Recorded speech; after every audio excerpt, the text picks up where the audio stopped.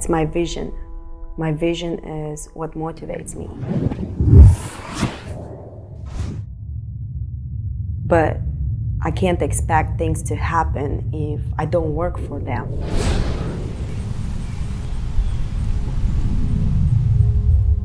I have to get up early. I have to work hard. I have to push myself without waiting for somebody to push me.